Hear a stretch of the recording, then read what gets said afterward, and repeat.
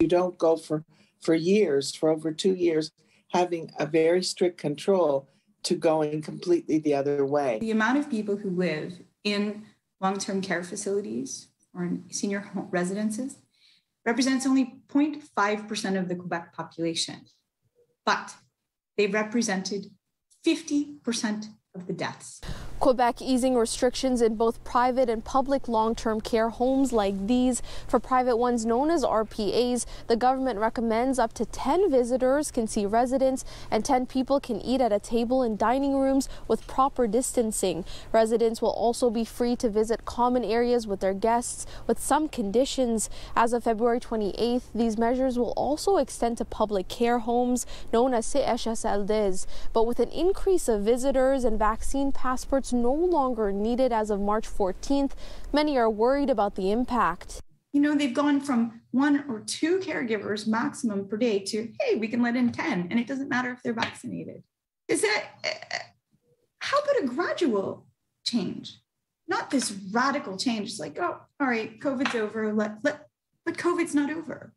It's not over. Joyce Shanks' parents live in the Maimonides Geriatric Center in Montreal's Côte Saint Luc, a publicly run seniors' home. She says she doesn't agree with the easing of restrictions so quickly. Almost half of the facility is infected right now. We start to remove safety measures such as vaccine passports and up the amount of people walking in and remove sign in as well. We've taken away any line of defense that we have to protect our loved ones who are the most vulnerable.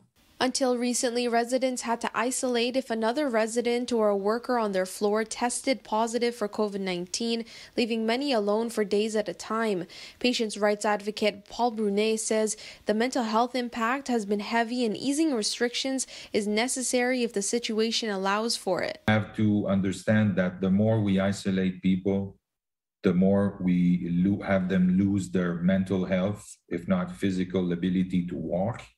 That's been a, a, a big problem already with the isolation of people. The social science tells us that visitors are important for elderly, and, and I think that they are. We have to still make sure that the biological science is, is, is applied so that it can be done safely. For Beverly Spanier, a resident at Maimonides, she doesn't understand the rush to ease measures. I, I think it's a mistake. I'm just an individual in a nursing home who faced COVID, who saw it, who watched 60 people here die. I, I'm someone who's still concerned about this disease, although I realize that it's been so hard on us to be locked into a room, not allowed out, not allowed to see the people we love, have all kinds of rules for if we wanted a physiotherapist, whatever we wanted. It was tough. It is tough. But to go the other way completely, that may be even tougher. In Montreal, Felisha Adams, City News.